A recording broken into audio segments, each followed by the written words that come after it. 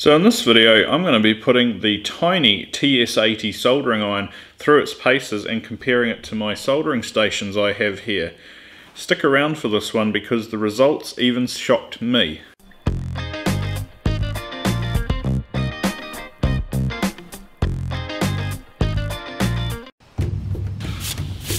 Are you designing your circuits like a caveman?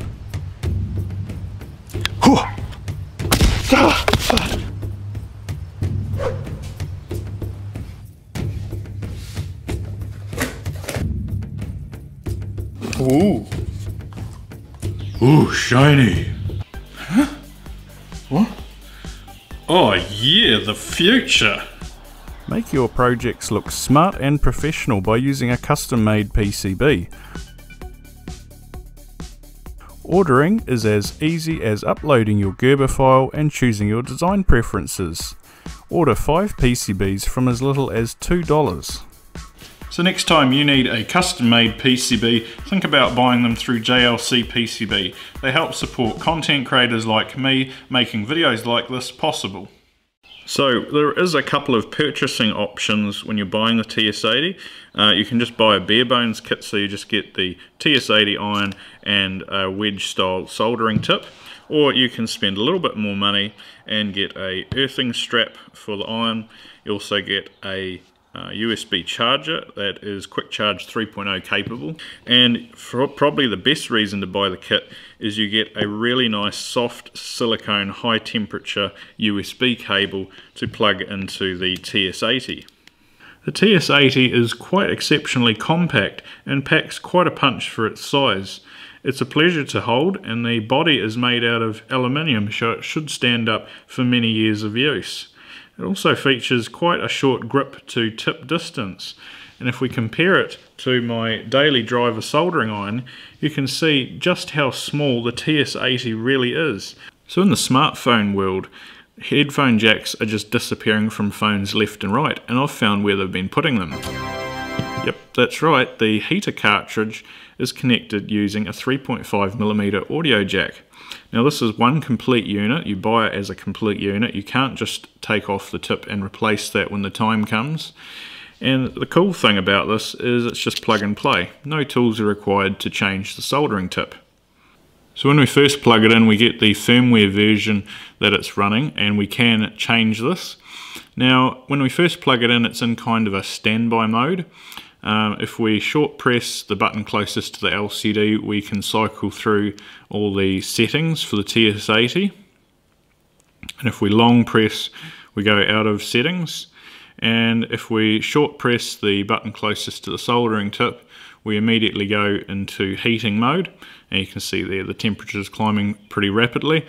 At the rear of the unit, we have the power connector. This is a USB Type-C connector and it's recommended by the manufacturer to have an input voltage between 9 and 12 volts with 13 volts being absolute maximum and essentially with regards to power adapters and power banks you're limited to quick charge 3.0 which means this unit depending on the power adapter can either output 18 or 24 watts of power. A soldering iron with 24 watts of power what a joke. My toothbrush has 24 watts of power. I'm out. Despite its low power rating of up to 24 watts, let's put it to the test and see how it performs. So for comparison, we're going to be using this soldering station up against the TS80. Both my soldering stations are rated for 48 watts, and both of them use an older style uh, heater cartridge where the tip is replaceable and the heater cartridge stays in the handle as opposed to the more modern style where it's all in one and you've got to throw the whole thing out or replace it.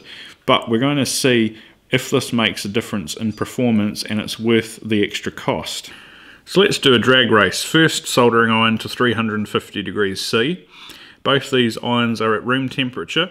I'll turn them on at exactly the same time and I do have to change the uh, soldering station from Fahrenheit to Celsius because it does default to Fahrenheit every time you turn it on.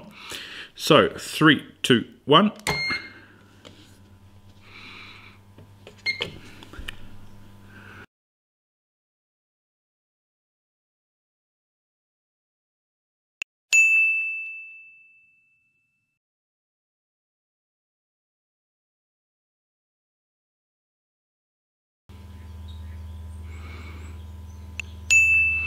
Yay, we're finally there. So clear winner, hands down TS80.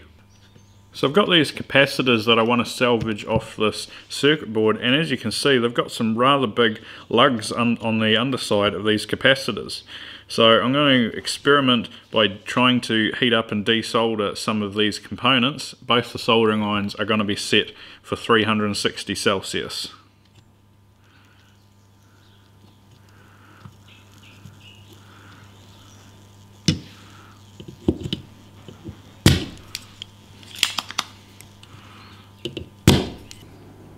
And let's try my soldering station.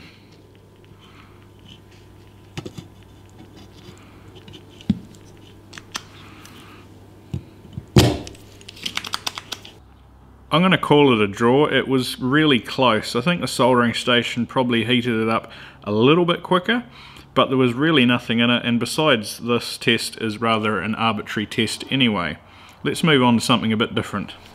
So I've taken some 15 millimeter copper water pipe. It's quite thick walled and I've cut two six millimeter pieces from the pipe and I have soldered them on to a piece of wire. Now I've made these as even as possible so that we've got a fair comparison and I'm going to put both soldering irons on the uh, rings at exactly the same time and we're going to see which ring falls from the wire first, which should translate to which soldering iron has heated up the copper ring fastest. So to make it as fair as possible, I'll just put some fresh solder on each of the irons. Okay, three, two, one.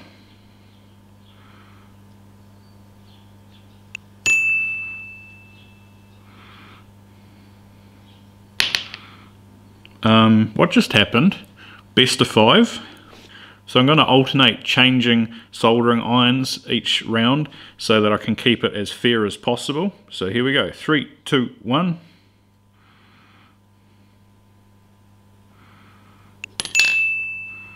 What? Again? Can't be.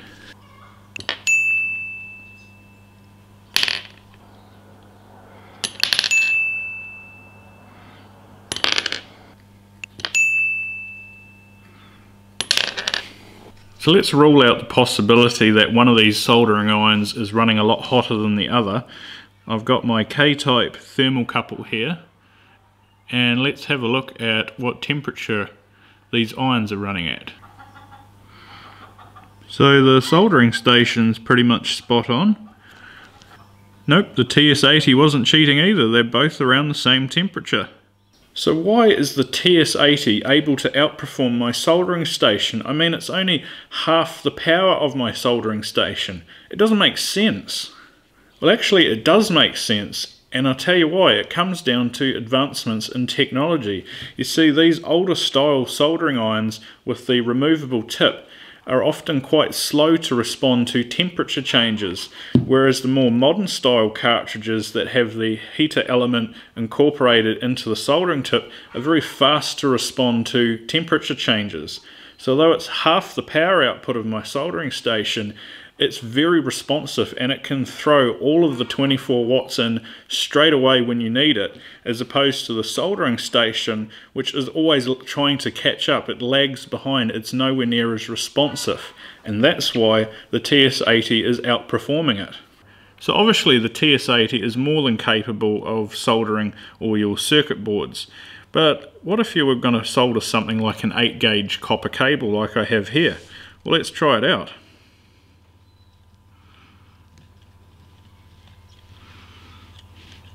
Wow, the TS80 is actually making really light work of that. Piece of cake, no worries. So if you're a curious sort like myself, you'll wonder what happens when you try to power the TS80 from a 5 volt USB outlet. Well, it turns on. Let's try heating the tip up. Uh-oh, low volts. So, as the manufacturer said, really you've got to use a power bank or adapter that's capable of quick charge 3.0. Another really cool feature is the ability to flash custom firmware onto the TS80. We can add additional features and, and all sorts of things and it's really simple to do. To do it, all you need is a couple of files. Now I'll put links to download these in the video's description. I didn't make them, an open source community has. Um, we've got two firmwares. If you don't like the custom firmware, you can just put the stock firmware back on. And then we've got the um, custom firmware by Ralim, or Ralim, sorry if I pronounced that wrong. To flash the firmware to the TS80 is really simple. We're going to hold down this button and while we're pressing it we're going to plug in the USB cable. Now we can release the button because the, the TS80 is now in DFU mode and we get this um, device pop up. It kind of looks like a flash drive. And all I'm going to do is drag over my custom firmware file, which is a .hex, copy it over to the TS80, wait for it to complete transferring. It'll pop up, uh, the window will pop up a second time and you notice it says TS80 ready. So now that that's popped up, we can unplug the USB cable, plug it back in, and we're actually running custom firmware now. We got a low volt warning when we plugged the TS80 into a standard 5 volt USB outlet, but now we're running custom firmware, we unlock the ability to run the TS80 from 5 volts. Now out of the box I can understand why the manufacturer disabled this feature, because if you look at the temperature it it's very slow to heat up from 5 volts. But I can't see any harm in having the feature enabled because if I had a choice between a slow soldering iron or no soldering iron, I would take the slow one every day of the week. The custom firmware also adds a multitude of extra features, heaps of submenus, more than I can go through in this video. So if you want to check out all the extra features this firmware adds, just check out the links in the video's description. So after seeing the surprising performance the TS80 offers, I would like to make this my daily use soldering iron and replace my soldering station here. But in its current form it just feels a little unfinished. What I'd really like to do is take the TS80 and turn it into a soldering station so that we've got a holder for the iron, uh, we've got a holder for a sponge to clean the soldering tip, uh, we've got a place to house the power adapter for it and also an on-off switch. I would also like to add a really cool feature and make the soldering station also have an internal battery so that you can use it uh, disconnected from the mains. You don't need a power plug to operate it. You could take it out in the middle of the forest and solder with it. So if you want to see that video when I finish making it, uh, there'll be a link pop up in the video's corner once I've uploaded that video and also hit the subscribe button so that you're notified when I do upload that video. So thank you very much for joining me in this video. If you enjoyed it, please give it a like, it'd be much appreciated. If you have any comments, leave them down below.